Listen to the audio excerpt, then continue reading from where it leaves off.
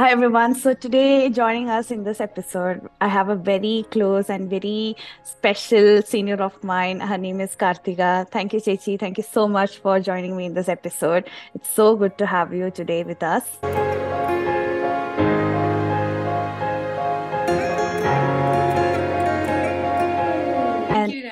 For inviting me over. It's my pleasure to share my journey with you and your viewers. Will you be able to share your academic journey so far so that they can get a bit of an idea? Yeah, so uh, I'm a PharmD graduate. Uh, I graduated back in 2017.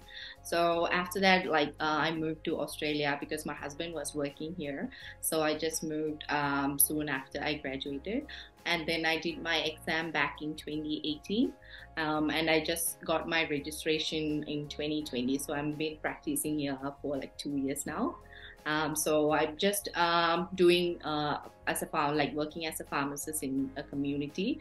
So I didn't get a chance to work in a hospital yet, but for now, just I'm, I'm happy with like where I'm doing. So yeah. So you had chosen a road less taken back in 2017 and 18, and you attempted the KAPS exam, and I feel you were the first person to do that in the in all of our seniors, I guess. So, what was your motivation and how did it go for you? Or what did you do to prepare for that exam back in 2017 and 18?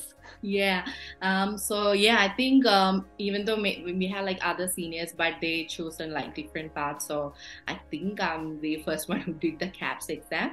Um, so at that time, I didn't have like much of an idea because I never had anyone to guide me through like uh, what to like how, how the process is but everything you can just check everything in the Australian Pharmacy Council website so yeah. they just tell everything in detail but I will brief out like what the process is like mm-hmm. um, so first you have to do like an initial assessment so it's just basically you submit all your like your IDs and um, your pharmacy certificates and yeah. academic transcript um, yeah. um, to the Australian Pharmacy Council, and then they will do an assessment. It's just mm-hmm. to check whether you are eligible to attend the KAPS exam. So yes. it takes around like two months um, to get everything done. So mm-hmm. once you receive that eligibility letter, you can uh, start preparing for the KAPS exam. Mm. So the KAPS is like basically what we studied. Like um, it has like uh, four subjects uh, in two divided in two papers. So paper one is like pharmaceutical chemistry and pharmacology, mm-hmm. and paper two is the uh, therapeutics and pharmaceutics. Mm-hmm. And you have to get like 50% in each of these subjects. Okay. Um, so so it's yeah, it's more of like what we studied. So we it's better if you just uh, start it soon after you graduate, so you have your memories and everything fresh. Uh, so so after you clear the KAPS, um, you have to do an English test. So it can be either IELTS uh, or PT or OET. Mm-hmm. So I think you have to get like uh, 70, 70 or. I did PT, so I had to get like minimum 70, yeah, in each of these uh, like uh, sections. So after you do like the uh, English test, um, you mm-hmm. can apply for like a, a, provisional registration. So, but if you are like um, planning to come to Australia, because I don't have to worry about visa and thing because mm-hmm. I already had my spouse visa. But yeah. if you don't, if you're planning to come here, you just have to apply for the visa. Uh, So it, you can either get like a skilled uh, occupation list or um, like state sponsorship, but I'm not okay. sure about those details. So you yeah. can check in that uh, Department of Home Affairs website. So they will tell everything about the visa things. Uh, okay. But the, all the other steps remains the same. Yeah. Um, so after um, that, you just apply for the provisional registration, and mm-hmm. then you can, if you are like or uh, an overseas pharmacist, you can come on shore with that visa. Okay. And then uh, you have to look for the internship after that. So it's a bit hard to find the internship so you won't get like where you want it so even in my case i i got the internship in a faraway place so i had okay. to travel mm-hmm. but but yeah you will get it sometime uh, so once you get that um, uh, internship place you have to apply for a supervised practice arrangement that's just like a, a form where you find a preceptor and mm-hmm. you just send it to the um, to the Australian Pharmaceutical Agency. Like it's called AHPRA. It's just another um, like a board where you submit all the documents. Okay. Okay. So once that's done, you can start your internship. So it, it takes around about an year to mm-hmm. do the internship. So in between, you have to also enroll in a course. It's uh, a, it's like an intern training program. Mm-hmm. So you can join. You have to join that course too, mm-hmm. and start your internship. Um, and in between there are like two other exams one is like an intern written exam mm-hmm. and also an oral exam okay. so once you clear both these exams you will become a registered pharmacist like a long process but but you'll get there yes yes yeah. i can yeah. see that you went through all of this process and yeah. so you have it like all aligned when we first think like it looks like a bit long process but yeah once you go everything goes with the flow so yeah it's all yeah. right yeah yeah and once you get registered you can either uh, like work in a community so i did my internship in a community pharmacy mm-hmm. uh, so you can just practice like you can away in a community or once you get that registration it's easier to go to the hospital pharmacy okay. rather than finding an internship in hospital pharmacy it's a bit hard i would say uh, okay. because most of them they don't accept overseas applicants uh, mm-hmm. even the students who study here they find it hard to find the internship in hospital so okay. they won't even accept the overseas applicants but it's easier to find a hospital pharmacy job um, yeah. after you like practice a few years in community and after you get some experience but it's yeah. good it's not like the ones uh, we do in like back in india so here it's more like Different. you do everything on your own and do the counseling and everything yeah Okay, that, that's wonderful. Different, but it's good. yes, yes. So, so actually, that was one of my questions too. So, because I've heard that it's very hard to find the internship, yeah. even though you can clear the KAPS exam. The uh, yeah. the internship is the hard one. But from your um, point, I understand that you should always focus on the com- getting an internship in the community first. Community pharmacy, yeah, you can get it. If you just focus on the hospital, you won't get because even the registration has some validity. You can't extend it like beyond two years or something. So okay. in the meantime, you have to finish the whole step. So if that years pass, then you have to do all these exams and everything again. So yeah, it's not yeah. worth it. Whatever you get first, and then you can go, you can pursue the hospital career later. But first thing, important step is just to get the general registration. Uh, yes. Then don't wait until you get there. Don't be adamant that you only work in a hospital pharmacy.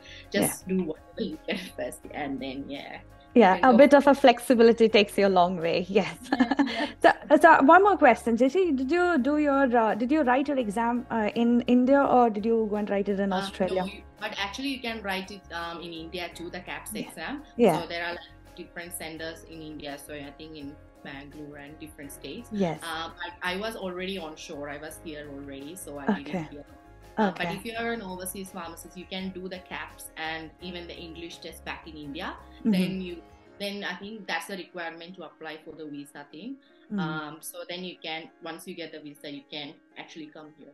But um, some I think some pharmacies they sponsor you, so mm. you can just come with that sponsorship visa itself. So and you don't have to worry about the internship because they you are you already know that you you have a position there. So so yes. that's uh, yeah. Yes, that's wonderful. So for me, I had to look around like for the internship. So you mm-hmm. can either apply through like the websites like Seek or Indeed, um, mm-hmm. or you can actually drop your resume to the pharmacies. I, I'll make sure that I'll write that in the description also for the viewers. Yeah. And uh, another question was you did your uh, internship in Amrita. It was all a hospital based uh, internship and then yeah. you still decided to continue in a pharmacy and a clinical pharmacy or community pharmacy. So what was your motivation? Because most of the times people just after pharmacy they try to get into an operational or strategic um, roles in uh, the pharmaceutical companies but you chose the other way which is the which is a more challenging one. So what was your motivation for that? Yeah so it was like mm, what we do we it's more what we practice so in even the internship we did like more patient oriented we deal about the drugs and the interaction so i think that it was I was more familiar with those things than going into a different field because I have to do another course or study further. Yes. So I just want to like continue like what I was more familiar with and just um, go from there. So because it was like I when I looked in the CAP syllabus, it's all like more related to what we studied. So so i had a hope that like yeah i can clear it because it's not something new we just have to brush up everything and then yeah. start wearing so yeah mainly because what I was more familiar with, and uh, yeah, I know like what it's going to be like. Yeah, instead yeah. of finding something different, and here I think I even though um, I have to go for some other companies or anything, I, I think I have to do another course or something. So So my another question was, Chechi, about advices uh, you would give to the aspiring pharmacy um, who are willing to come there and become a registered pharmacist. There, the aspiring students who are studying pharmacy now. So when should they start preparing for the KAPS exam? Yeah. So uh, firstly, you need to finish like everything. You have to get your all your certificates in hand, so so that you can apply. So just I would say you can start preparing like soon after you graduate. So anything um, you need to get all your certificates. I think the pharmacy certificate takes some time after you graduate too. Yes. So once you get all the things um, in hand, you can apply for the initial assessment. So and it takes around like two to three months. So in the meantime, you can start preparing for the KAPS because you will get the eligibility letter anyway if you because the minimum qualification is just B Pharm. So you I think anyone would get it when you apply. So in the meantime, you can start preparing for the KAPS too. Um, but just keep everything organized so you know what to look for and what all are the requirements. So just prepare it like once you are doing an internship or you are in the final year. You can start preparing, yeah. Okay, that's the right time. Like that's the Yeah, peak time yeah, when you you're almost complete. Like preparing too early too. Uh, Yeah. So just like on the last last few months uh, of your graduation. So So good to hear that, Chechi. So my last question is, uh, do you enjoy what you do? And also, would you recommend pharmacy as a career option to all the uh, people who are looking to study pharmacy in future? Yeah, so yeah, I enjoy like what I do. Um, so it can be a bit hard, like on your intern year, so you have to really work hard uh, because it's exams after exams and just a bit hard. That one year, it's really you have to work hard. But after that, like it's like it's okay. Once you get your registration, it's like stress free. You just just do your job and come back home. You don't have to take any stress back home. So Yeah. it's like yeah it's just an easy going job and and yeah the patients most of the patients are really nice even though we get like really rude ones too but Yeah. it's just like you how you deal with people you get to deal with people and interact with them just problem solving things. And yeah i really like it here. And for and for like um people students who are coming to australia like planning to work as a pharmacist um yeah just start preparing. You really need to have a passion in, in, in to serve the community. If you are looking just in the in the salary wise it's not i won't say it's a greatest uh, salary job or something because we like have like other high paid jobs Yeah. it's not yeah it's not like a very well paid job but if you are really have a passion to help people or you really like uh, working as a pharmacist then yeah you can definitely go move to an, a, a foreign country and get everything like a pr permanent resident so i think pharmacist is not like in that skill migration list um, Okay. Because there are like other skill occupation lists so Mhm. yeah uh, not in this state in victoria i live i, I work in victoria Mm. so i think it's they don't because they have already enough pharmacists here so they don't Okay. accept overseas pharmacists so if you are Yeah. looking to move like as a permanent resident Mhm. um, then pharmacy won't be a great option because there are like other courses but if you already have like uh, any spouse visa or anything like that then Yeah. that way yeah That's so wonderful, Chechi. You have made it very clear to us, and also to have a motivation to go through all of these exams and these steps, and also Yeah. having that passion to actually work Yeah. in the community and serve the people. So you have made it very clear to us.